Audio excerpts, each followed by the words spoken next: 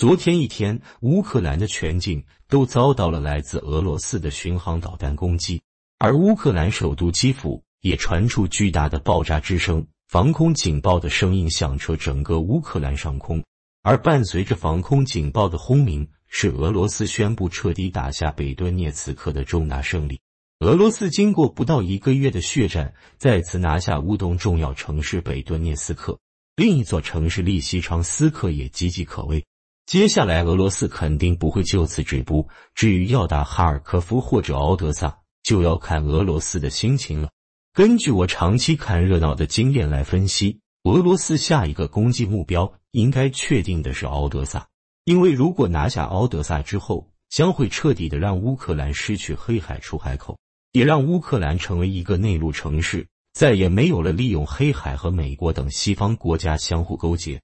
从背后对俄罗斯捅刀的可能，完成俄罗斯对乌克兰去军事化的目标。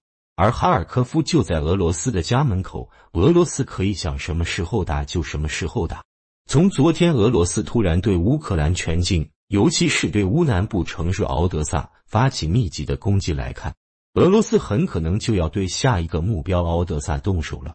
随着乌克兰战争的深入，俄罗斯的战略意图已经非常明确了。就要打一场大战，打赢了再也不受你北约的鸟气，给俄罗斯的国家安全打出一片天空；打输了大不了大家同归于尽。要知道，已经为七十岁的普京，这是拿自己的政治生命在赌俄罗斯的未来。其实，俄罗斯战争开打之初，俄罗斯仅仅是要求卢甘斯克和顿涅茨克两州独立，乌克兰不得加入北约。如果乌克兰承诺永久不加入北约，甚至乌克兰停止卢甘斯克或顿涅斯克两州民众的杀戮，俄罗斯都可以不承认两州独立。但是在美国的支持之下，乌克兰是越来越变本加厉，北约国家越来越咄咄逼人，直至这场乌克兰战争爆发。战争从二月十四号一直打到今天，我们看到不但卢甘斯克或顿涅斯克彻底丢了，赫尔松丢了。马里乌波尔丢了，北顿涅斯克丢了，利西昌斯克也要丢了。可惜俄罗斯国力和西方整个国家比起来还相差太大。如果能够旗鼓相当的话，这一次乌克兰战争还有许多打法。俄罗斯可以以加里宁格勒飞地被封锁为由，直接对立陶宛展开打击行动，甚至可以将立陶宛收入囊中，让这些上蹿下跳当美国棋子的国家都能长点记性。更可以借此重创北约东扩步伐。在开战之初，我曾经说过一句话，那就是俄罗斯在替中国趟雷。很多人还说我胡说八道。乌克兰战争和中国有什么关系？关系大了去了。我们看到了北约扩张的步伐已经瞄准了亚洲，并且亚洲的日韩两个国家今年首次参加北约峰会。没错，这两个国家甚至都有可能会加入北约。如果任其蔓延。迟早有一天，北约也扩张到我们的家门口。而俄罗斯发起乌克兰战争之后，谁敌谁友一目了然，也让我们心中有数。要知道，北约现在虽然有三十个成员国，但包括观察国在一起，一共都已经高达四十五个了。这些国家抱着冷战思维，对其他不同观点的国家采取这种群狼战术。不仅仅是危及俄罗斯的国家安全了，对全世界的国家安全都是一种威胁。而俄罗斯这次发起的绝地之战，就是斩断北约黑手之战。美国本想利用俄乌战争围剿俄罗斯，收割欧洲，没成想自食恶果。俄乌战争给乌克兰民众带来了战争，给俄罗斯带来了经济制裁，给美欧带来了严重的通货膨胀。因为高油价，全球各国面临通胀危机。哪怕是美国也无法幸免。据美国专业经济机构预测，由于通货膨胀加剧，美国经济陷入衰退的可能性大大增加。他们认为，未来十二个月经济陷入衰退的概率为百分之四十四。最高概率通常只有在经济濒临衰退或实际正处于衰退时才会出现。如今的美国要想走出困境，就得解决能源危机，而解决能源危机的唯一办法。就是结束俄乌战争，但俄乌战争就如潘多拉的魔盒，你贪恋战争带来的红利，也必然会遭到战争的反噬。你美国策划俄乌战争，激发了战争财，又达成政治目的，现在见形势不妙，就想收手。你去问问俄罗斯答不答应，再去问问你国内的能源商、军工复合体答不答应。俄乌战争在某些利益集团眼中就是生意，而且是很大的生意，以至于有许多俄乌战争受益者妄言，俄乌战争将持续二三年以上。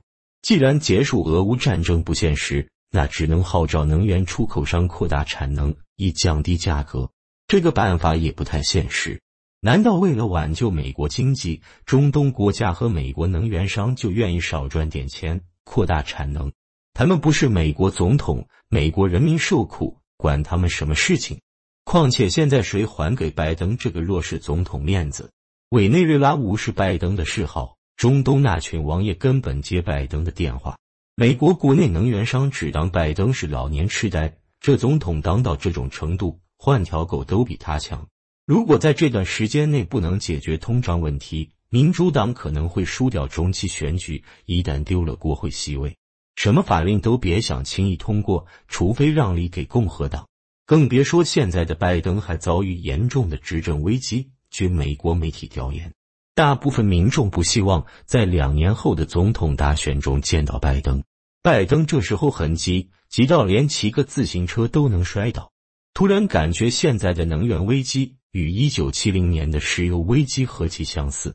当年美国想通过支持以色列分化中东，没成想遭到中东各国的反扑，欧佩克组织宣布减产，将国际油价推到高位，最终导致布雷顿森林体系崩溃。而今美国想通过支持乌克兰肢解俄罗斯，没成想也遭到俄罗斯的反扑，自食恶果。当美国用美元收割全球人民时，俄罗斯就用能源收割美国人民。话又说回来，当前的能源危机与一九七零年代的石油危机相比，还是有明显差异。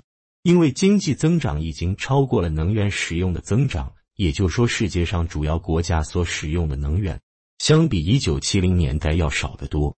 同时，全球能源结构多元化，新能源势头强劲。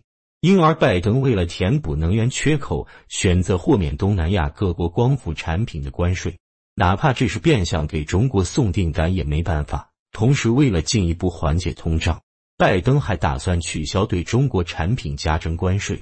面对通胀高企，美国最终还是坚持不下去。其实，美西方当前的困境都是自己做的。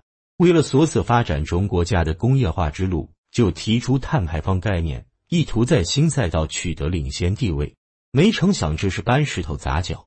本来美西方集团在内燃机时代就有深厚的技术积累，中国和其他发展中国家根本追赶不上，只能受制于人。但西方的胃口太大，为了赌一把大的，发动舆论工具，天天宣扬全球环保，硬要推行新能源。而新能源意味着新赛道，大家都在相同起跑线。这也意味着西方将自身优势给舍弃，选择与中国赛跑，这不是找虐吗？现在又想重拾传统能源产业，结果发现新能源已经变成政治正确了，正可谓自作孽不可活。当然，美国的困境不单单是严重的通货膨胀，还有内斗。民主党内部忙着争权夺利，哈里斯想夺位，布林肯想揽权，沙利文想给希拉里铺路，大家各怀鬼胎。另一面，共和党虎视眈眈，就等着在中期选举和二零二四年总统大选上发力，一举将拜登和他背后的民主党统统赶下台。暗流涌动，稍有不慎，万劫不复。俄罗斯会与欧洲加强经济合作，收编波罗的海三国，从而趁机发展经济，整合地缘板块。伊朗会借机推动核试验，建立什叶派大联盟，将美国势力排挤出中东。中国与亚太国家加强经济合作，慢慢拔掉美国在亚太的爪牙。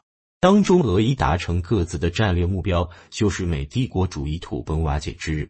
美国策划俄乌战争，终究会被战争反噬。